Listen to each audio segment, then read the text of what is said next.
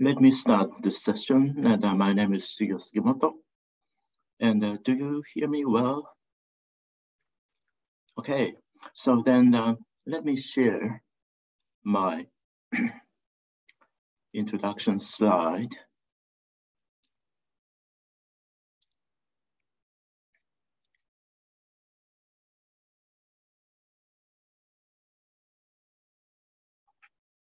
Okay, so the this slide,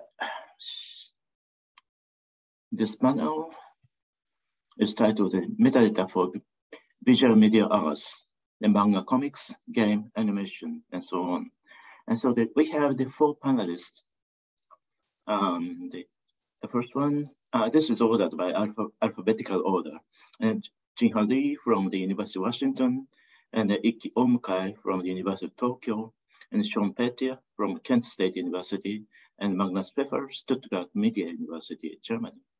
And myself as um, Shigeo Sugimoto and uh, from University of Tsukuba, I'm a retired professor. And then, so this is backgrounds.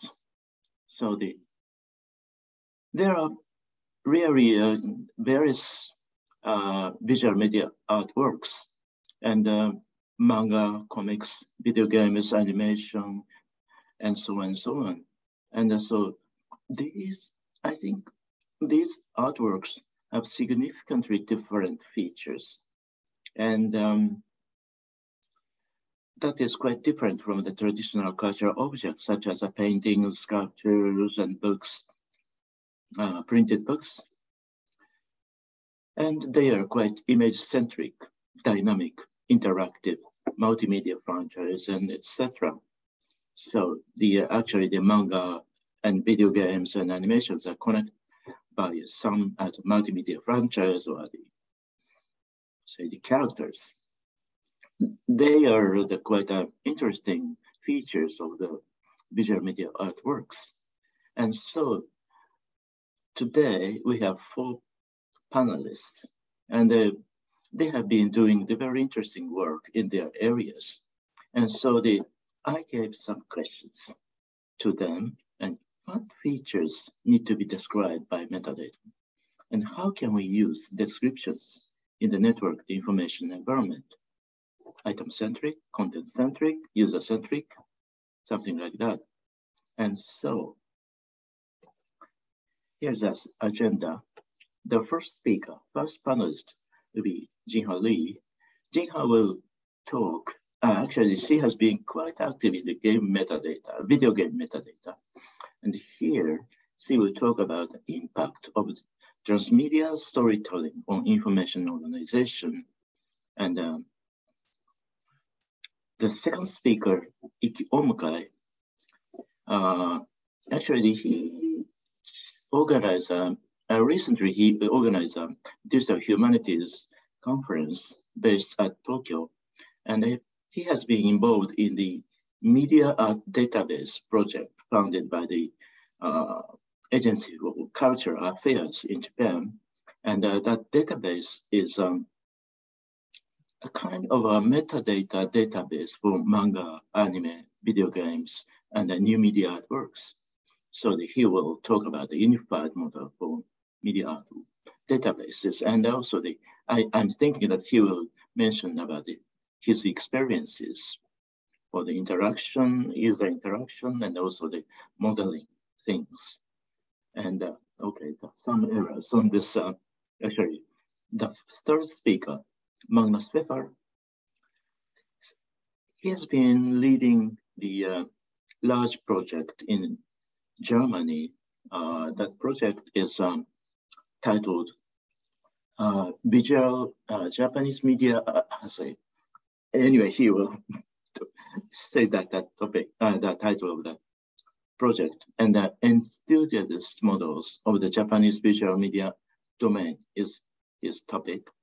And then the fourth speaker is uh, Sean Petiya, and uh, he will mention about the graphic medicine and LOD, semantic enrichment of mental health comics metadata. So the, these presentations will include some user or the audience issues linked open data issues, but uh, all of them are based on the say visual media or visual media artworks. And uh, I'd like to introduce Jinha as the first panelist. Jinha, are you ready? Yes, I am. Let me okay. share the screen. Yeah, yes, please. Right. Can you see the slides? Yes. Perfect. All right. So uh, hello, everyone. I'm Jinha Lee. Uh, I'm a professor at the University of Washington Information School, and I oversee the Lab Gamer Group, which stands for Game Research Group.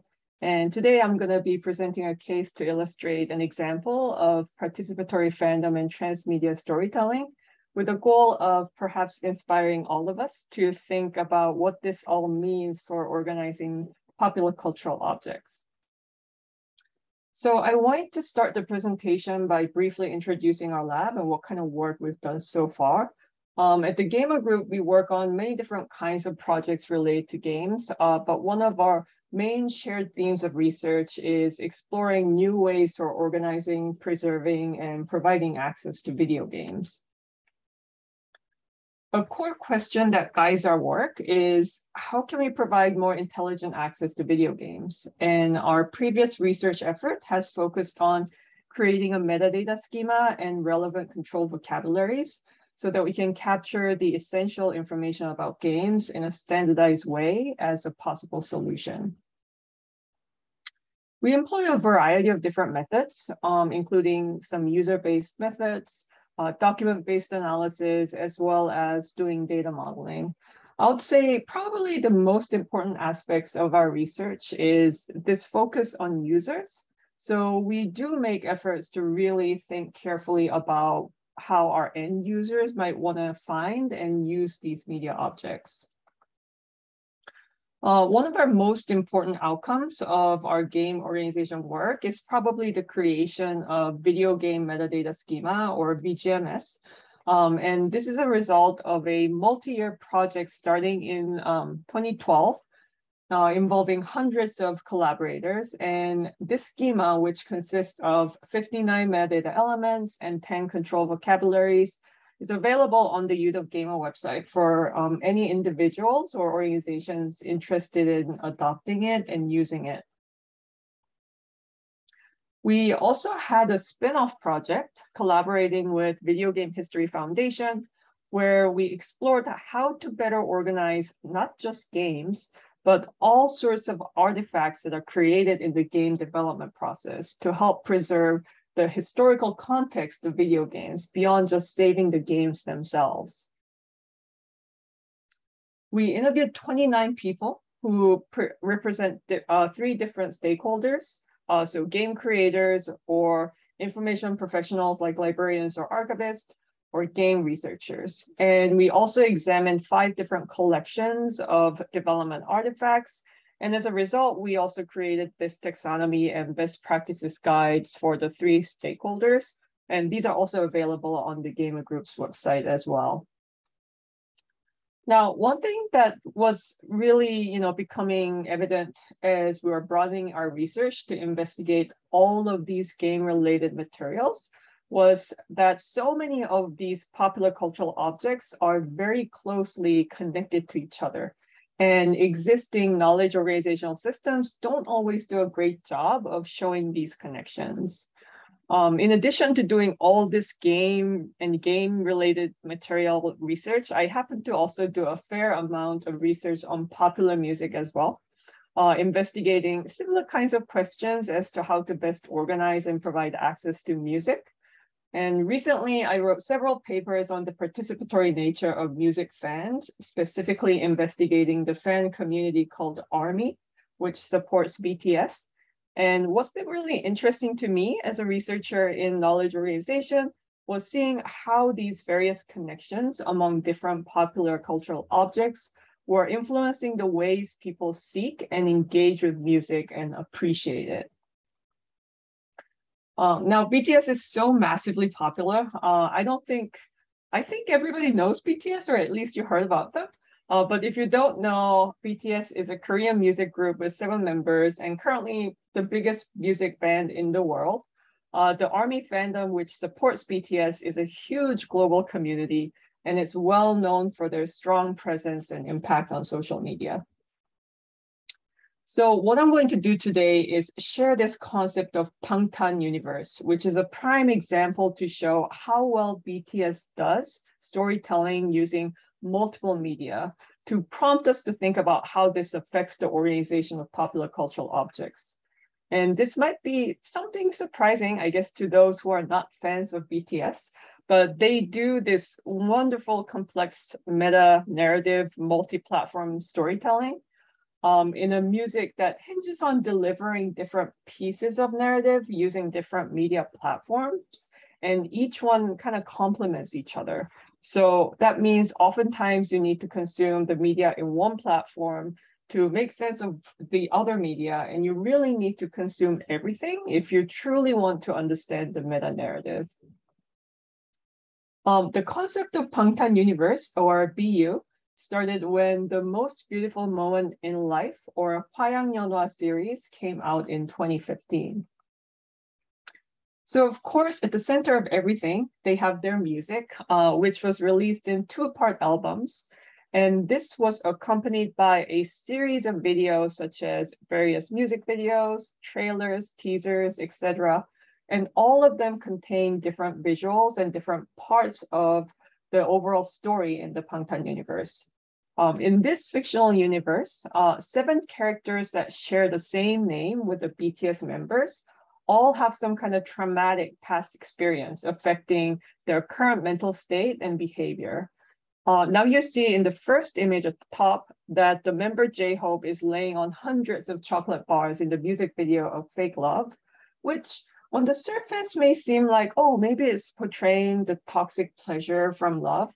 But once you watch the other videos, you realize it has a very specific meaning as he was abandoned when he was young uh, at the amusement park by his mother, who left him a chocolate bar with him, which results in him having this trauma associated with the object. And later he suffers from mental health issues as an adult. And these videos are all related to each other. You can see these connections that are represented in objects like pills or representation of the member J-Hope as a patient across all these different media. Now, the tricky thing about these connections is that there's usually nothing in the way they are labeled, published, or described that actually makes these connections evident. There's no metadata. So you only know about these connections once you engage with all the media content. And additionally, there are several types of printed materials. So Hwayang Notes 1 and 2 which started with the notes included in the album booklets. Uh, they were later published in these two volumes of fiction in multiple languages. And even before that, the fans were already volunteering to translate the notes in Korean and distributing them through multiple websites and social media. And there are also five graphic lyric books with visuals for different songs and a webtoon, Save Me, which shows different episodes of the members. Now, these fictional elements are sometimes shown in ways that are like very ephemeral. So for instance, there's this flower called Smeraldo, which is a fictional flower. It doesn't really exist, uh, but it is a key object in this Bangtan universe narrative.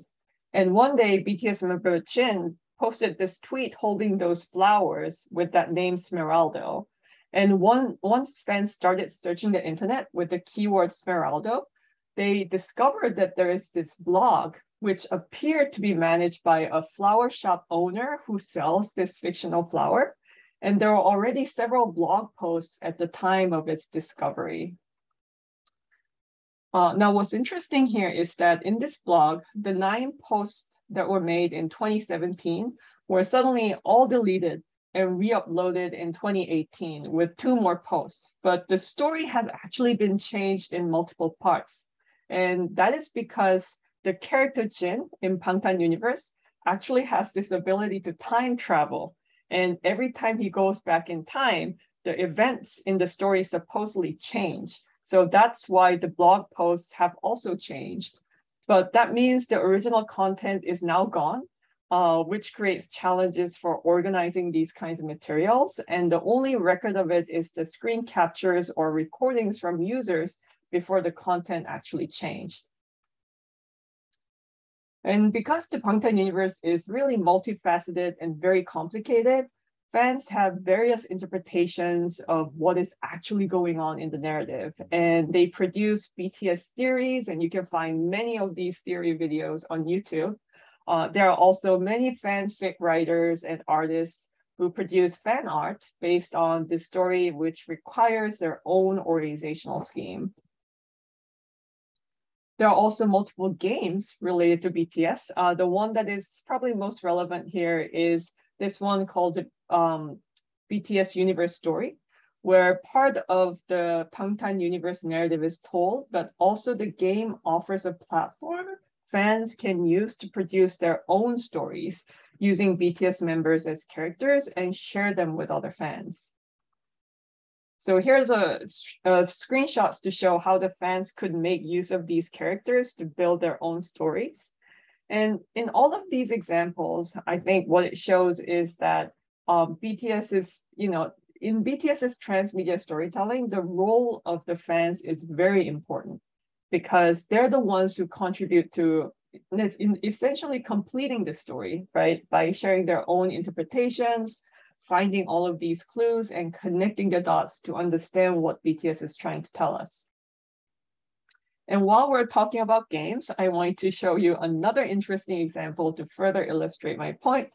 Um, here we have BTS Island in the SEOM, which was a mobile puzzle game featuring BTS characters launched earlier this year. When they released the game, they of course released behind the scene videos on YouTube uh, where they showed how BTS members themselves participated in creating the game. So of course we have these relevant video materials. But more interestingly, um, many of the scenes that are featured in the game itself are inspired by the past activities of BTS shown in other media. So in this example, you see that uh, on the left side, there's a game scene where these members are playing this foot volleyball and they're completely struggling, uh, which is actually based on the episode 100 of the variety show Run BTS. So for the fans, you know, these kinds of connections are important and meaningful and prompts different kinds of search needs for these media objects at a much, much more granular level. Sometimes these connections not only exist among the digital media, but bleed into other types of art or events in the real world as well. So the last example I'm going to show you is the project called Connect BTS, where BTS selected and presented these curated art exhibits by 22 artists in five different countries that resonated with their artistic vision and philosophy. And while I don't have time to go into details about this massive project, um, here's some examples to show how these exhibits uh, in the virtual world or real world connects back to the music videos and performances of BTS. Like here, where you see the scene of on music video at the bottom that resembles the atmosphere in the virtual experience catharsis. Or the scene in uh, Interlude Shadow trailer that is inspired by this green, yellow, pink, and beyond the sea uh, scene exhibit in Korea. And these projects not only blur the boundaries between real world and virtual and high art, which are sometimes treated differently in terms of organization and description of materials. And beyond the examples we saw, there are of course many different kinds of materials, including both digital and physical objects that are relate, related to BTS. And some of these IPs um, actually also contain different stories, such as the BT21 characters shown here, or Tiny Tan characters. And there's also a substantial collection of academic articles and books related to BTS. So from the perspective of a fan, you need to have a way to find all these materials and understand the overall connection and the narrative embedded in their music and other materials. uh, based off of these relationships, which means we will need a pretty complex organizational or descriptive system. So in these examples, I think what's evident is this prevalence of participatory culture and the important role of fans. Um, fans who deeply engage with the materials are not just passive consumers, but they're also producers and creators of these media. So they're the ones who really know them. And because of this reason, I would argue that they're probably the ones who are most suited to organize these materials for other users as well. So then the big question for us is how to best work with fans or incorporate their work that's already been done in libraries or other cultural heritage institution. We may ask questions like, you know, what kinds of metadata are necessary to adequately describe these themes and connections across multiple media? Or what kinds of relationships do we need to define and specify among all of these works? And uh, I believe my colleagues in this panel will actually showcase some really interesting projects as examples to show how it can be done. Thank you. Thank you, Jiho. So can I move to the next speaker now? And uh, we can take the questions and discussions after the all presentations. Okay, then let me introduce Ikki Ohmukai. Yes, so can you hear me? Yes, please. Okay, so Yeah, yes, I can hear you. Okay, so let me share my screen. So Yes, please. okay. Is it okay? Okay. So thank you for your introduction. And uh, my name is Ikki Ohmukai from the University of Tokyo. Uh, now uh, in Japan, uh, 7 a.m. So, so very sleepy. So, but let's start. So my presentation title is Uni uh, Unified Data Model for media art database. And so first of all, I would like to introduce the media art database. Uh, this database is operated by the Agency of Cultural Affairs of the Japanese government. And this database contains information on four different fields, which are manga, animation, uh, digital game, and new media art. Uh, these domains are specified by law with the agency. The first version of the database was released in 2015. Uh, later, I joined the project and designed a beta version, which was released in 2019. Uh, in last year, the MADB lab was started to publish the dataset and SPARQL endpoint. And here is the media database website. Uh, you can choose from four different interface language. So let me put uh, Pokemon uh,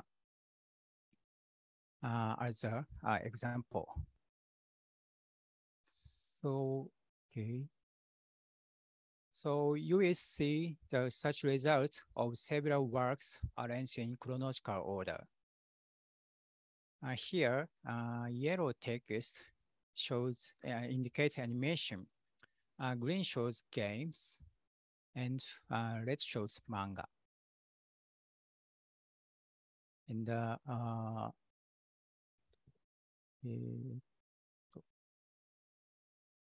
so uh, click on a single entry to see detailed metadata.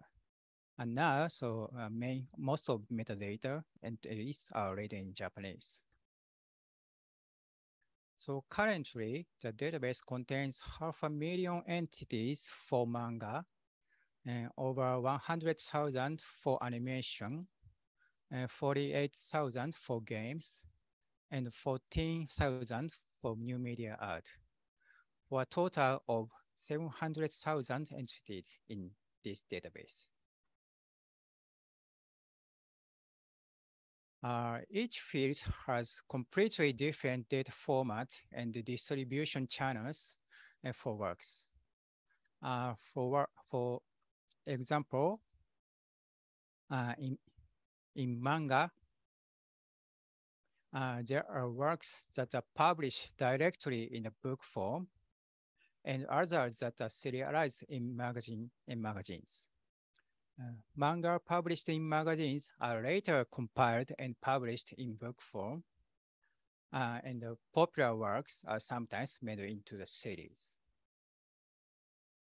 Uh, in animation field, uh, animation is a, an even more complex situation. And some works are broadcast on TV, and some are played in the, in the theaters, and others are uh, sold as a package from the beginning. Uh, later, film may be shown on TV or as a package.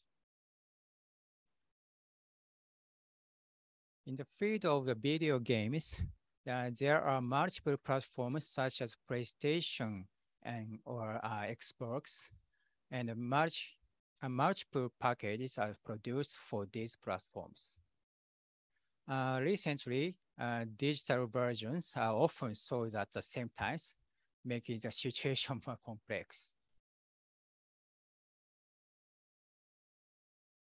Uh, the media uh, database obtains these diverse data through partnerships with libraries, universities, and industry associations. Uh, we then design a, a, unified data model and transform the data to enable uniform access to the public. Uh, this data model is intentionally designed to be flexible and rough in order to absorb differences among fields. There are only two fundamental classes, uh, items and collections. Uh, let's use Pokemon as an example. Uh, the first Pokemon was released as Pokemon Red and Pokemon Blue.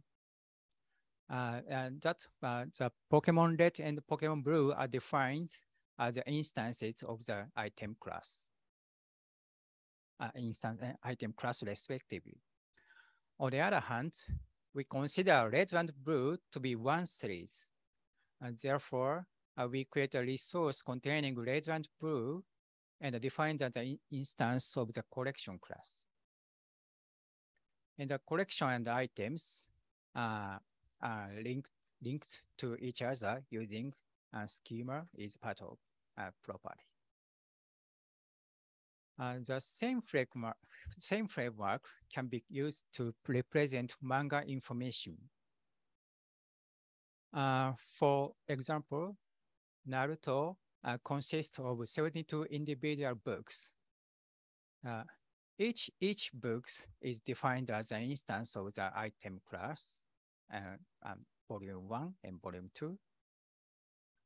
Uh, and the entire works are set of 72 volumes is defined as an instance of the collection class.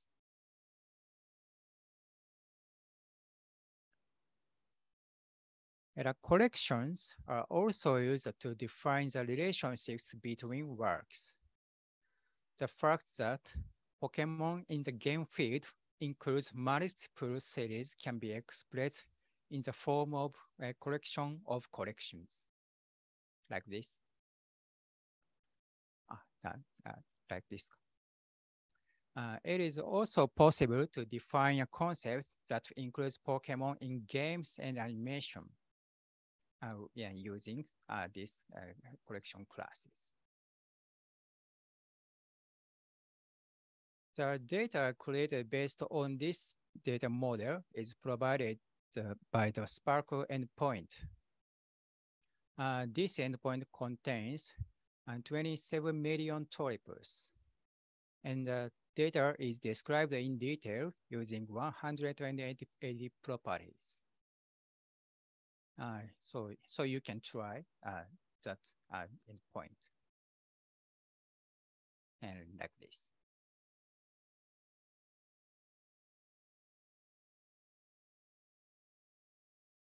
Uh, so now, so we need to discuss definitions of the fundamental classes.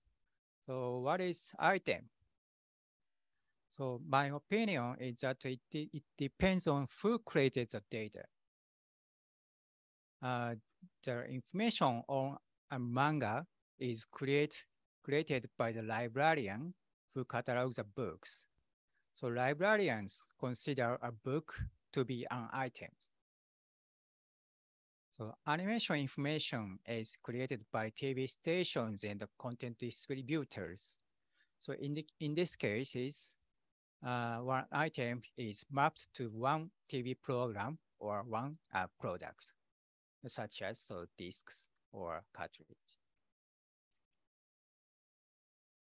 And the game data is created by researchers or archivists who collect disks and cartridges. Therefore, for each one of the uh, each one of the different packets uh, for each platform is considered an item. Defining an item in new media art is extremely difficult. So it varies greatly depending on the form of the work and requires the judgment of the curator.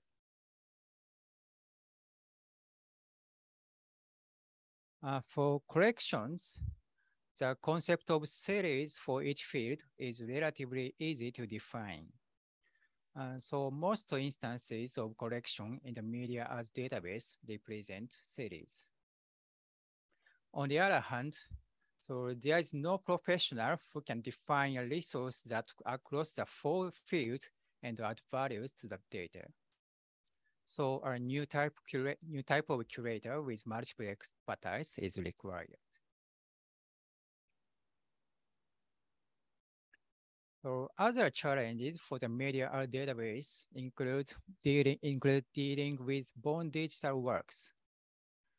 Uh, there is an ongoing discussion about how to collect information on media that have very different forms and distrib distribution methods, streaming media, uh, webtoons, and smartphone apps. So in addition, a number of unclassifiable works is expected to increase. An organized information management systems uh, is necessary for the continuous maintenance uh, our database, but it is it's not clear how to capture the uh, unique activities.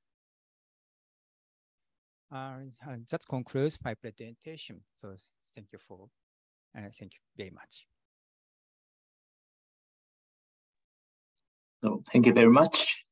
So the, the actually I I I'm also involved in this uh, media database project, but um, I I found the definition of the item or the content was a quite a big issue for this project, and um, so let me move on to the next speaker, uh, Magnus Pfeffer.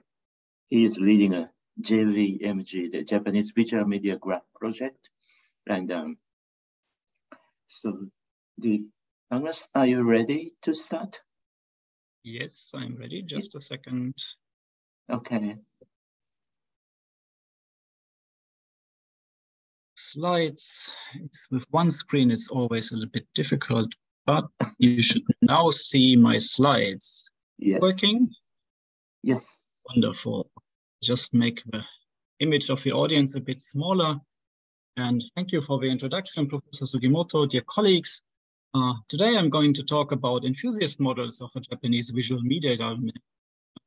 And in order to do this, I have prepared a few bullet points on our project so you know what we are working on and what we are trying to achieve.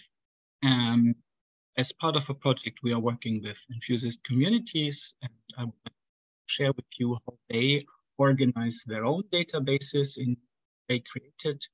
And I have a few observations uh, we made during the project and some the influences the enthusiast work had on our own understanding of a domain and modeling of a domain.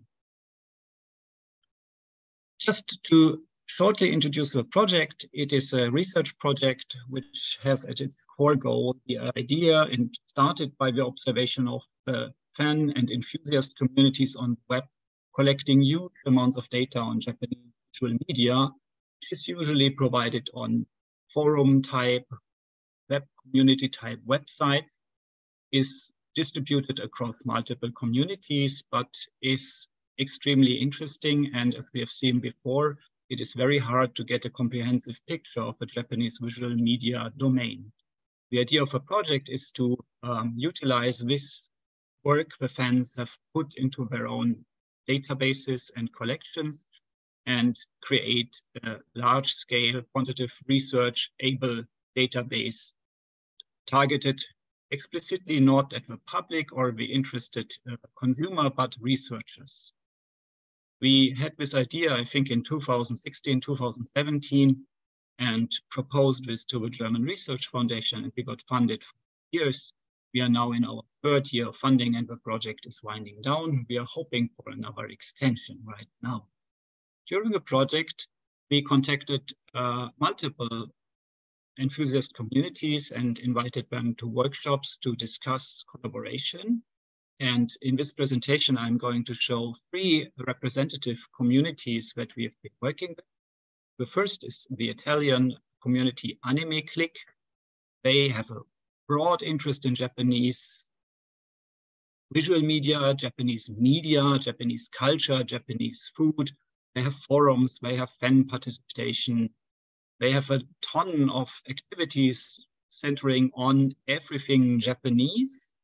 And of course, also for manga and anime, there is a lot of information available.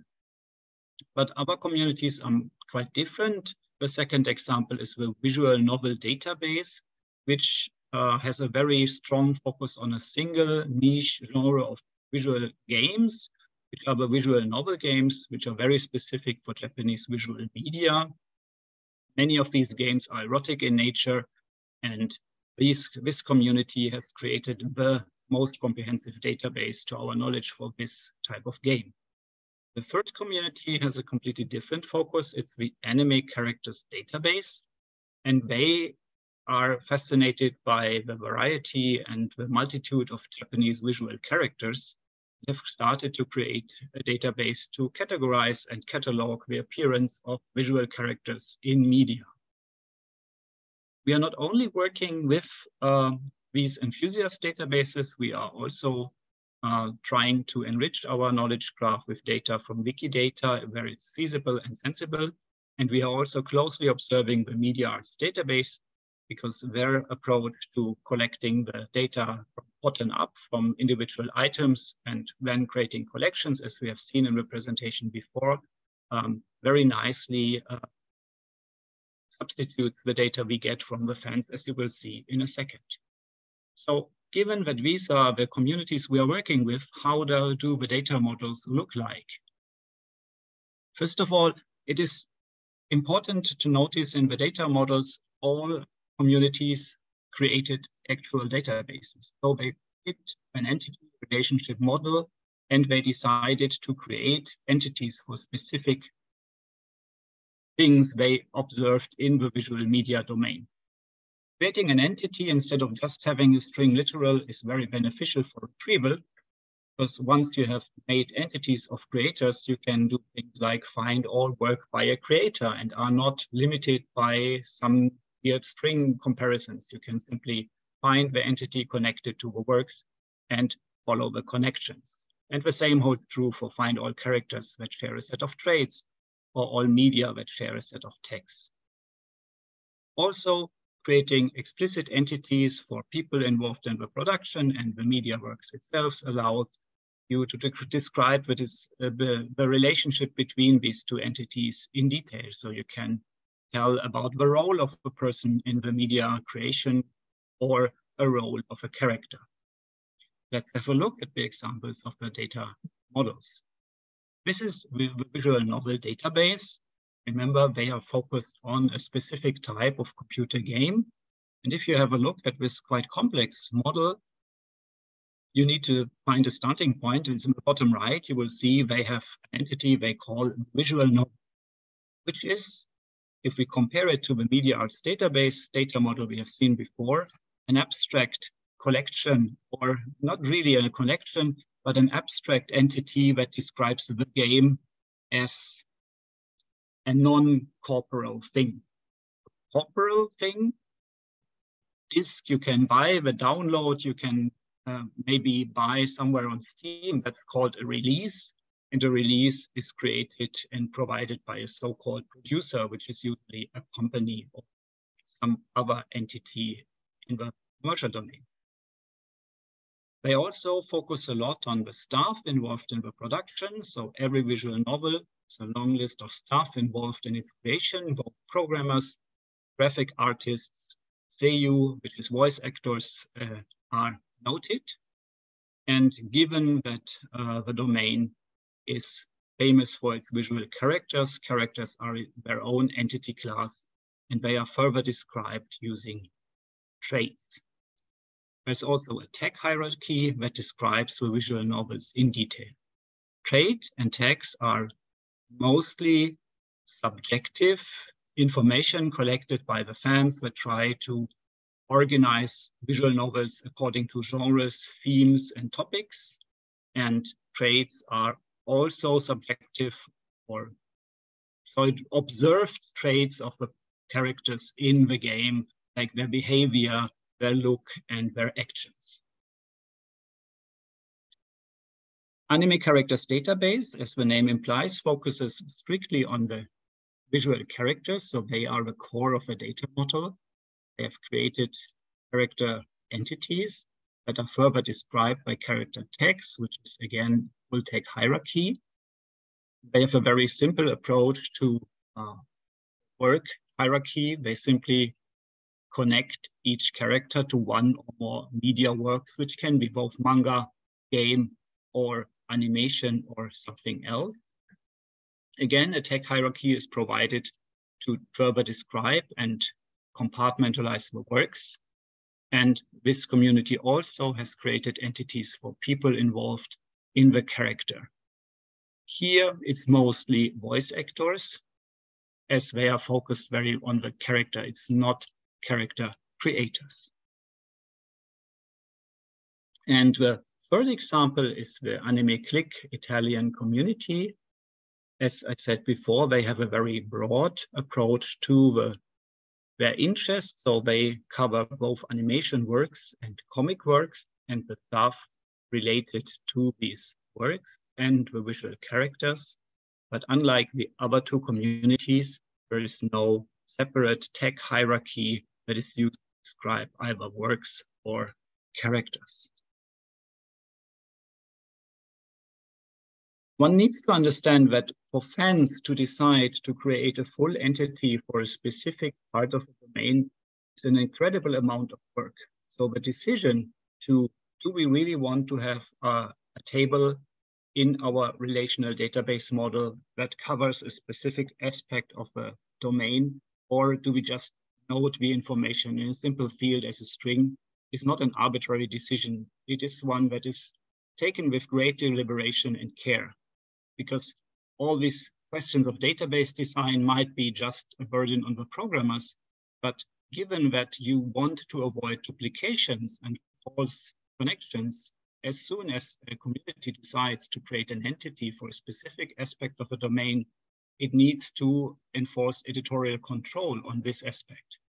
So once a community decides to give people not only as a string, but as an entry in the database, someone needs to take care that people don't get multiple entries or the wrong people get connected.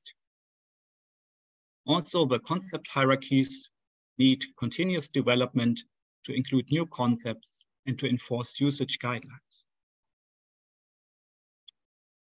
even with these three uh, examples from the presentation, and we did have a look at many more uh, enthusiast communities, it is quite easy to see that the core and common entities are very similar.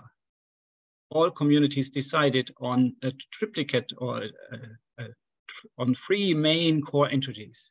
There's media, there's people involved in their creation and production, and there's visual characters.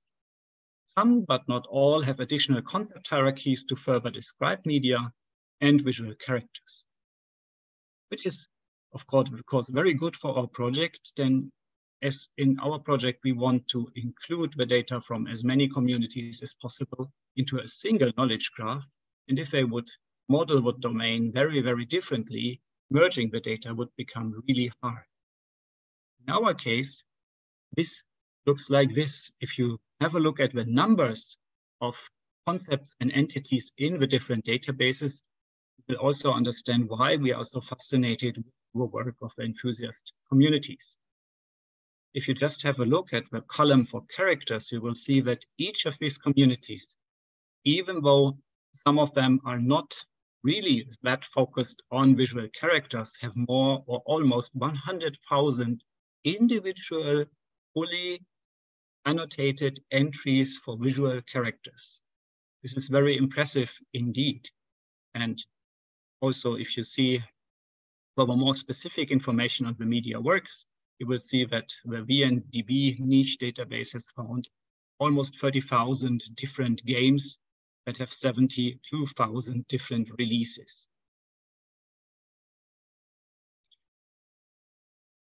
Also, a nice comparison given we had uh, some numbers in the presentation just before, you can now see that the Anime Click and ACDB databases have a limited amount of information available on comics and animation. And Arts database has much more than they have. As we heard before, the problem is that there's physical objects we can buy or at least think we can have as abstract works, and then there is larger franchises. And the communities treat these with three layers differently. The VNDB covers the bottom two layers. They religiously mark releases as physical objects, discs, CDs, DVDs, and in their case, non-physical objects like download opportunities or digital distributed media from distributors and the abstract work. Anime Click and ACDB allow for clustering media into media franchises in a similar way we've seen in the presentation before. So they cover the top two layers, but they don't care at all about items. We heard uh, of Media Arts Database, which works bottom up from the physical objects towards the franchise. And Wikidata, which we also observed, is very fragmented and has no clear agreement on how to deal with the object and work not obvious from the data models is a problem that is inherent in media works themselves. Not only do we have a problem of physical release versus abstract media, but also the granularity of its media is not clear. Specifically, in our case, TV series are broadcast in order, and we may know that it has 39 episodes and it was finished. But are these three episodes of 13 episodes, uh, three uh, seasons of 13 episodes each, or is this one TV series with 39 episodes? What about special episodes, Christmas episodes, for example, or other special opportunity recollection episodes to help people come back into the TV franchise after an, a longer break or something like this? Should these be part of the TV season, the TV series, or should they be a separate thing? And the same holds true for movies. In a bottom-up process, you can always try to find different layers that represent this, but the fans have made different decisions in the different databases. So for our integration, this becomes problematic as we will have partial matching. Some community might note the Pokemon and TV animation as a single entry lots of episodes, and another one might split it up in multiple seasons. And we need to match accordingly either full or partial and merge or distribute information in our final representation, the domain. Some observations at the end of my presentation. We notice that the enthusiast groups usually focus on very different aspects of a Japanese visual media domain they create very detailed models that are well designed and share a set of core entities. This similarity in their approach to modeling the domain makes it easy and possible for our project to merge the information into a more complete representation of the domain. We still see a lot of challenging work ahead of us for the different re representations of media works in our sources. Thank you for your attention. And if you're interested, you can also see our data and use our data in its current state. We have a project blog and linked open data service where you can browse all the linked open data from our project using the following links. Thank you. Thank you very much. So actually quite interesting and I found that the Jinha's talk is about the power of fans and also the Magnus talk about the power of fans and also the linked data, linked open data is a common basis to connect the things. Okay, then let me move on to the last panelist, Sean Petiya. Yes, thank you. you. I have a um, video here. I'll get started. I'll try to transition smoothly too. Uh, screen.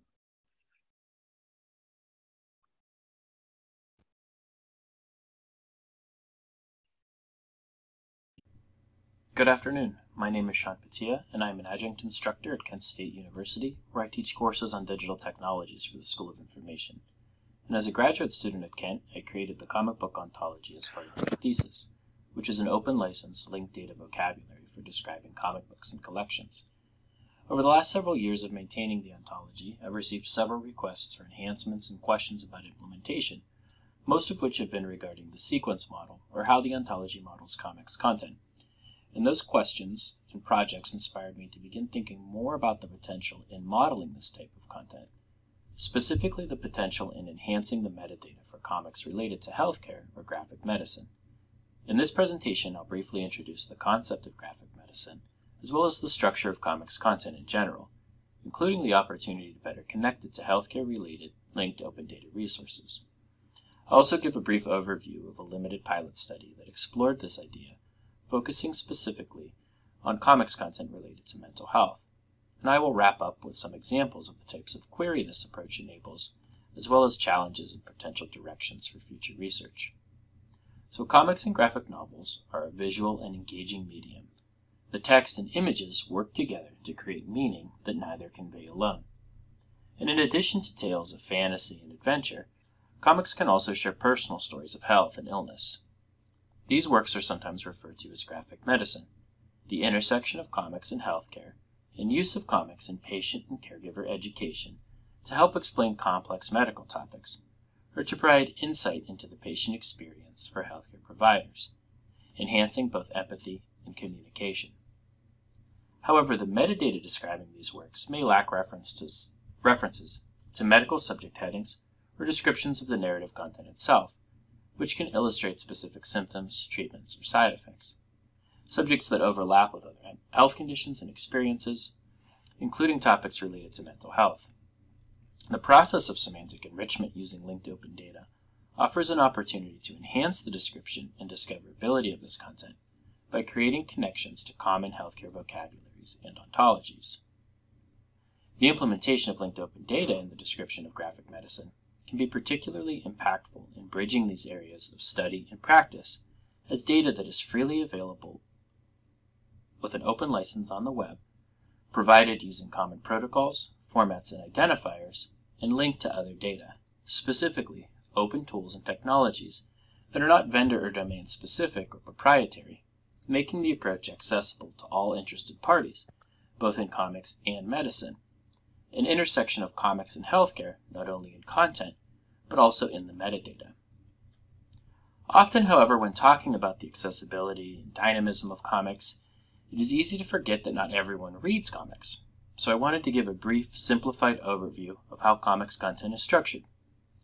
Comics use a sequential narrative, with the story unfolding in sequence across one or more pages, and then within one or more ordered panels. These panels may include dialogue and speech balloons and thought bubbles, or captions that contain narrative text. Stories can also be serialized across titles and even across decades, with complex story arcs often collected in trade paperbacks or graphic novels. And of course, some work is exclusively published in graphic novel format, with many of these stories following a chapter based structure, similar to a traditional novel. Knowing the structure of comics content, we can map these visual components to the sequence model found in the comic book ontology. The ontology can be used to describe titles and contributors and so on, but its sequence model is particularly useful for modeling content, which includes classes and properties like story, page, and panel. It incorporates schema.org as an upper ontology, subclassing creative work, or creating equivalencies with comics-related elements where appropriate. This mapping of narrative content to the comic book ontology allows comics content to be expressed as an RDF graph and linked to other data. now, with this ability to create RDF graphs of comics content, I wanted to explore enriching that data using healthcare-related linked open data resources specifically for comics related to mental health. And this very limited pilot study focused on a single work, States of Mind, a personal memoir of bipolar disorder, a common mental health condition that shares symptoms and experiences with other illnesses. Bipolar disorder is typically characterized by mood swings, or very low periods of depression and very emotionally high periods called mania. During manic periods, which feel good compared to depression, a person with this mental health condition may have limited insight into the disorder and its effects, which can cause challenges with adherence to treatment and compliance with medication, including presumably graphic medicine. However, comics that share stories of mental health, illness, and recovery can also help subvert typically stigmatizing representations found in other media, including negative portrayals that may influence the perspective of caregivers. This dual effect of both educating patients and building empathy in caregivers makes mental health narratives like states of mind particularly valuable resources and good candidates for semantic enrichment. semantic enrichment refers to the process of adding topical metadata to content so that machines can make sense of and build connections to it. This strategy has successfully been implemented by libraries, archives, and museums to improve the discoverability and reuse of their data and it has also been previously applied to comics, using automated methods to identify digital comics content and add semantic annotations. This semantic enrichment process can be applied not only to descriptions of the work, but also the content, including detailed indexes found in community or fan-created data, a tradition in the comics community, both in print and on the web. This limited pilot study builds on these approaches in three phases reviewing existing metadata, indexing and analyzing content, and then finally creating enriched metadata from the results. To begin this limited review of the existing metadata, we can start with a typical public library MARC record. Here we see bipolar disorder in the summary, as well as subject headings for manic depressive illness, and terms for both comics and graphic novels. We would definitely find this work in a search for comics or graphic novels about bipolar disorder, but we are missing references to medical subject headings, as well as references to the narrative content, including specific symptoms, treatments, side effects, and so on. Next in this RDF record from WorldCat, we again see headings for both manic depressive illness and bipolar disorder, as well as comic books, including terms in both English and French, with states of mind being a translation from French. However, again we are missing references to healthcare vocabulary and descriptions of the content. Finally, moving beyond library data and into the community data, this is an HTML representation of a record from the Grand Comics database, an internet-based project for cataloging and indexing comics. And here we see that the Grand Comics database schema does support indexing content or sequences like chapters and stories. And we do see some additional healthcare terms in the keywords and synopsis for this chapter. We can build on this approach by using semantic enrichment to extend these detailed indexes and include both pages and panels, then link that content to healthcare vocabularies and ontologies using linked open data. To begin the indexing and analysis process, we need a template to structure the data and a domain model to map to. Once again, we can use the sequence model from the comic book ontology, specifically classes and related properties for comic story page and panel. We add a column in the template representing each class, and create a hashed or fragment identifier for each relevant page or panel as we read through each chapter. Also adding a note in the label column describing what each indexed item is about. Now with a complete index of relevant content in our template, we need to find an appropriate identifier for each term. we can use BioPortal, a repository of biomedical ontologies, to search for equivalent terms in common healthcare vocabularies and ontologies. BioPortal can also be used to evaluate the license of each vocabulary and review links to other data sources using the class mappings feature. And finally, we can use a script to convert the data collected in our template to RDF triples. I'll skip the technical details of the script itself, but all scripts, data, and templates referenced in this presentation are available on GitHub. Very briefly, the script iterates over each row in the template, creating a triple for each value and producing a graph. The graph data can then be serialized to a specific data format, and here we have encoded this graph using JSON-LD, a common way of creating linked data using JavaScript. We see a portion of our graph representing a panic attack, with this panel linked to a specific term in a medical dictionary, which we can see now in both the graph diagram and in the code. This semantic enrichment process resulted in an index of 76 pages or panels illustrating topics relevant to mental health, with links to a total of 37 terms found in 11 healthcare ontologies, potentially now enhancing the discoverability of this content for specific medical terms. This approach is also multilingual, with comics being primarily visual, it does not require a direct translation of text, and it is applicable to non-traditionally published work like crowd-funded or self-published material. In other words, the library data is not a prerequisite. There are, of course, several limitations to this approach. Indexing analysis can be subjective and would benefit from editorial review, and the accuracy of term selection requires review by domain experts. Finally, instead of looking at the output of this pilot study as a bunch of triples, we can instead explore the results in a visualization of our graph.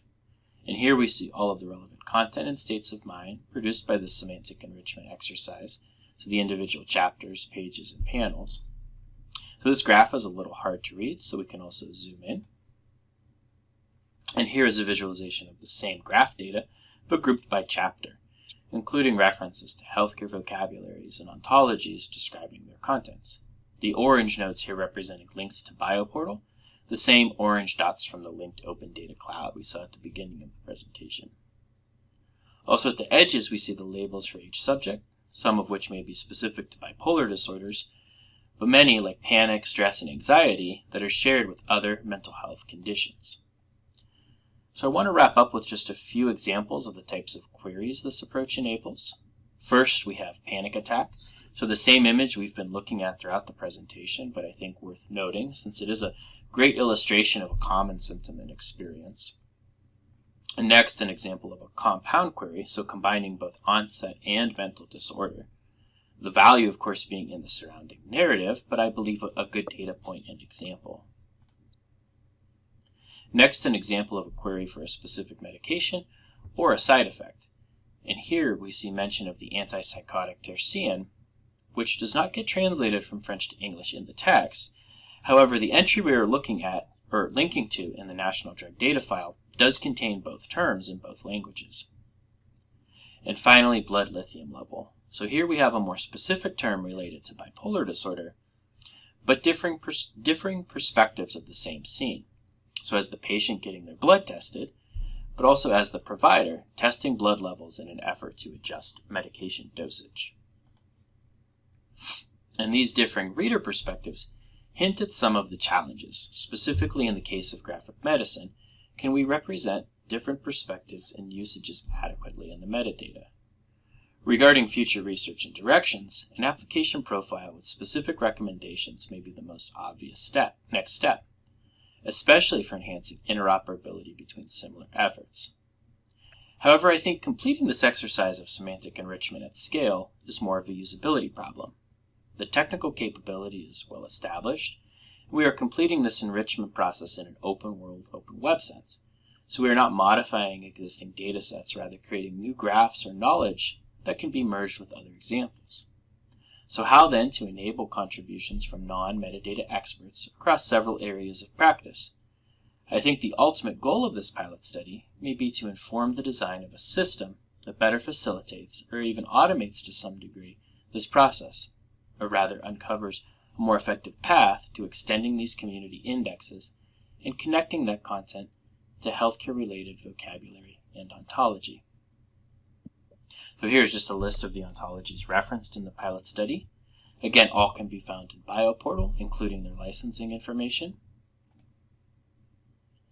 And finally, my contact information and links to both the ontology and pilot study, which includes the data, templates, and scripts referenced in this presentation.